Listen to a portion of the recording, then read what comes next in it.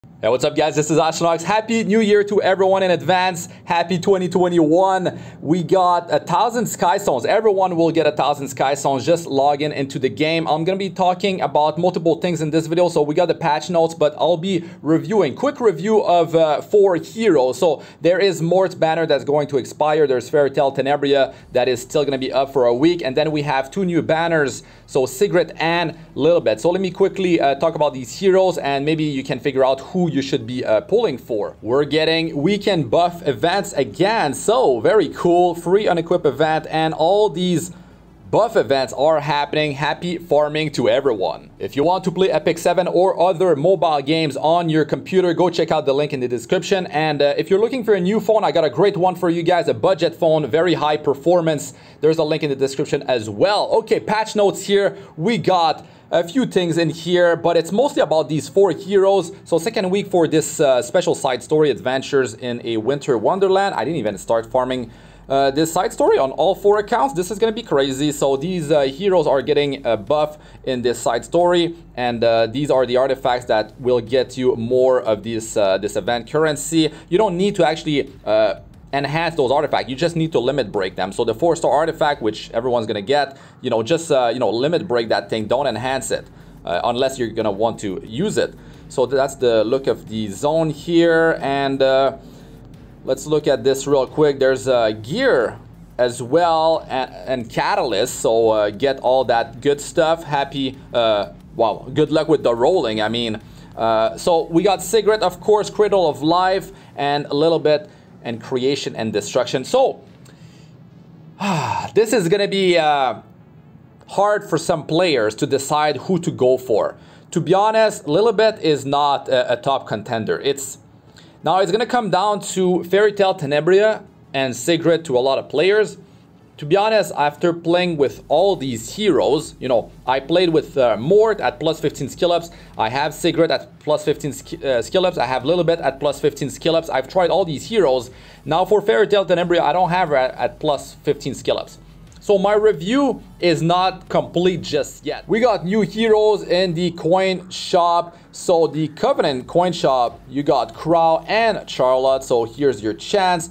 And for the Galaxy Coin Shop, you got Martial Artist Ken. Definitely a great combo with Fairy Tale Tenebria. You can go check out my uh, showcase of Fairy Tale Tenebria. And uh, I mean, it's a lot of fun. Immortal uh, Martial Artist can give immortality using ML Achates. It's Shooting Star Achates. It's a lot of fun. And uh, we got a new Powder of Knowledge uh, rotation here, and you should be getting your Bottle of Knowledge, uh, because like every rotation I like to get that, because I can limited break like a, a limited uh, artifact, so that's very powerful. Of course, I can't get it every time because, uh, I mean, I don't have an unlimited amount of, uh, you know, powder. But out of this list, to be honest, like, Shimadra's staff is definitely one of the you know better ones and most useful ones because it's going to be boosting the green numbers across your whole team. You just need to wear that on a soul weaver on your team and it's actually very very powerful. Now to talk about mort real quick he's actually quite hard to gear for. Uh, his uh, his kit is pretty random. You know you need Elbris ritual sword on him. You got the potential of triggering the uh, the buff here sacred blessing which would potentially, you know, allow your team to not receive uh, critical hits because of the, uh, you know, the critical hit resistance buff. But it's a lot of ifs. He's immune to stun and sleep, which is really good. Uh, but he's got like he's got defense break on skill one, which is extremely powerful. He ignores effect resistance when he does have uh, the rage buff when he's enraged after using skill 3. So landing defense break against high effect resistance uh, heroes is, is very, very powerful. And with Elbris Ritual Sword, with counter set, like you you're increasing your chances of making that stuff happening and triggering that uh, Sacred Blessing, which can definitely be a game changer, you know, uh, if you if you're lucky, right? If you're lucky.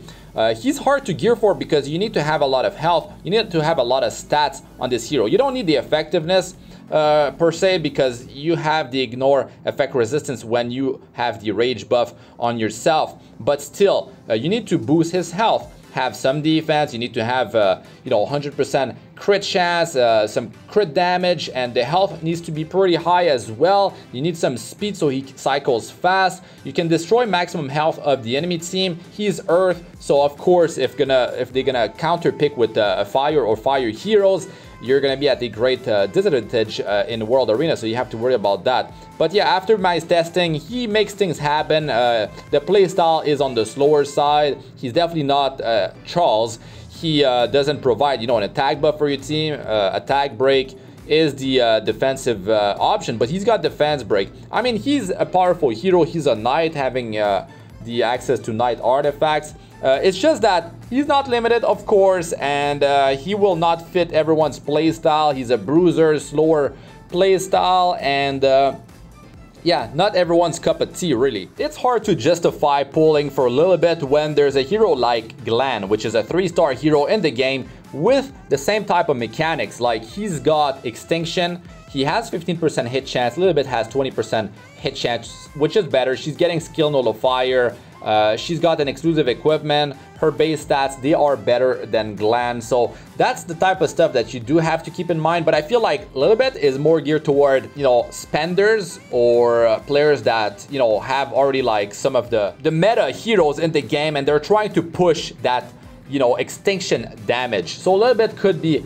good in that department because she deals more damage than Glenn if she has attack buff. She's not self-sufficient because she doesn't have attack buff in her kit. Glenn has greater attack buff, so I can compare both heroes. They have the same gear, right? And the conclusion is, because I'm not going to go through all the numbers, but uh, the multiplier of uh, a Lilibet skill number three is better than Glenn, and it's better by quite a bit. 37% better multiplier if I factor in the exclusive equipment. So uh, for the skill number three, so that is quite considerable. Uh, they both have 27% crit chance, which is uh, quite solid, but a Lilibet has better survivability, and a Lilibet uh, I didn't factor in her memory imprint, which is going to be harder to get than Glenn. Glenn, I have him, when I'm comparing both, it's a Lilibet with no memory imprint, and Glenn has triple S memory imprint for that 144 uh, flat attack, which uh, boosts only the, the base attack. It's not like uh, getting multiplied by uh, by the gear, by the way, guys. So actually, 144 flat attack for Glenn is actually 15.6% of his base attack, which is actually quite considerable, and it's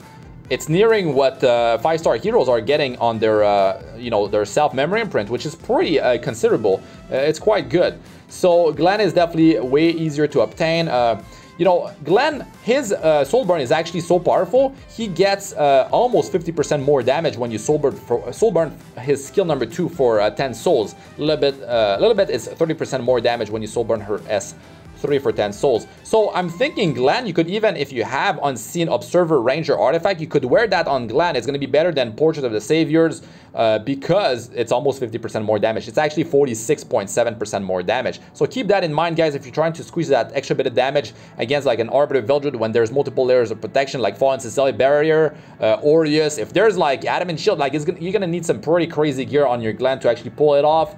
Uh, he has 15% hit chance. If he has Moonlight Dreamblade, that Arbiter Vildred, there's a 5% uh, chance you actually, uh, he 5% chance he evades. So you got to keep that in mind. A Lilibet has that 20% uh, hit chance. So yeah, conclusion is with the same gear, no memory imprint on Lilibet, triple S for Glenn. Uh, yeah, uh, Lilibet is able to deal 36% more damage, but she needs a tag buff. That's two slot in the team right there. But Glenn, he can be self-sufficient, way more flexible uh, than Lilibet. So keep all that stuff in mind and uh, you can uh, decide by yourself who uh, who's going to be the, the better choice for you. Another thing with uh, Lilibet is that skill nullifier can be quite uh, handy, you know, uh, on top of having some pretty decent ability on this hero. Uh, she's a warrior, so she has access to warrior artifacts, so you could be even using like maybe an Uberius Tooth on this hero. So yeah, there's uh, quite a few options uh, for you. And a symbol of unity, the artifact from uh, Guild War, you can wear that on Glenn or a Lilibet, and you could be using that to uh, against like a, a, Remnant Violet. You could be using that versus like a Mirsa, uh, you know, a hero that has a lot of evasion uh, to to potentially counter that uh, that evasion. So you can actually land your hit and not miss. So just a few ideas for you guys. And a Lilibet, uh, she's a warrior, so I mean, you could try stuff like Sigurd Scythe and you could have fun with uh, some stuff like that. And if her damage is higher, that means you could build her more on the like bruiser side. I guess you can increase her health uh, some more, her defense some more as well, which could make up for some interesting stuff. Sigret is definitely the queen of Wyvern. She helps so much in there. She has so many debuffs. Her stats, her, they're great. You can be using her in PvP as well. We're talking about extinction uh, heroes like Sigret and Lilibet. And to be honest, like Sigret can be used as an extinction hero in PvP as well instead of using Lilibet, instead of using Glenn. So you've got to keep that in mind. And uh, this hero is actually very dangerous in PvP. She gets an extra turn with the Soul Burn on her skill too. So you could build her slow and uh, you know attack percentage boost. Uh, you could have her on uh, destruction, could have her on, on, attack set, just so she hits as hard as possible. Uh, I mean, you could have her on rage if you're able to land a debuff in PvP. And the thing is that if you use skill number two and the target drops below 50% health, you will attack again with skill number one. So that is actually very dangerous. And with her exclusive equipment, she can actually trigger that thing if the target is at 70% uh, health or uh, or less with uh, after using smash so very devastating you can use this skill number two and take out someone. Skill 2 and to the skill 1 automatic. And then the extra turn means you can finally do your extinction versus that annoying hero like Arbiter Vildred. So you should be wearing an artifact like the uh, symbol of unity uh, from Guild Wars so you can actually, you know, land your attack with uh, the uh, the hit chance from that artifact. That that that hit chance is going to be huge and it will allow you to counter Moonlight Dreamblade uh, so a symbol of unity is uh, great for that. And if you have more attack on her, well, that's going to be great. To be honest, for Wyvern, you don't need memory imprints for her. It's about having as much uh, crit damage as possible and speed. Of course, you need 85% crit chance to have 100% crit chance versus fire. You're getting 15% for free. So Sigret in early game, if you don't have her, if you didn't check my guide, if you didn't go for Sigret at the start with your account and you're struggling in Wyvern, Sigret is definitely going to be a great choice and she's going to be better than uh, Fairy Tale Tenebria in Wyvern. Like by far, it's not even comparable. So yeah, uh, Wyvern should definitely be uh, on top of your list in terms of what you need to be farming in the game and that will set you up for the rest of the game because it opens up crazy gear. Uh, you can do some crafting and boost your stats by a lot. Uh, you know, speed set is great, uh, crit set is great, hit set is great. A lot of value out of those sets. You can't go wrong when you are farming Wyvern. So Sigret is definitely a top contender out of those four heroes. So definitely like keep all that stuff in mind and all these debuffs that she's able to apply, you know, the bleeds, uh, the unhealable, more bleeds, and the penetration of defense based on how many debuffs are on the target. You know, that's 30% to start off and then an additional 10% per debuff. So it's very easy to have a lot of debuffs with this hero and the rest of your team versus Wyvern, allowing you to penetrate a lot of the target's defense, which means when you have an artifact like Daydream Joker that deals damage based on the target's max health, you're gonna scale that damage even further.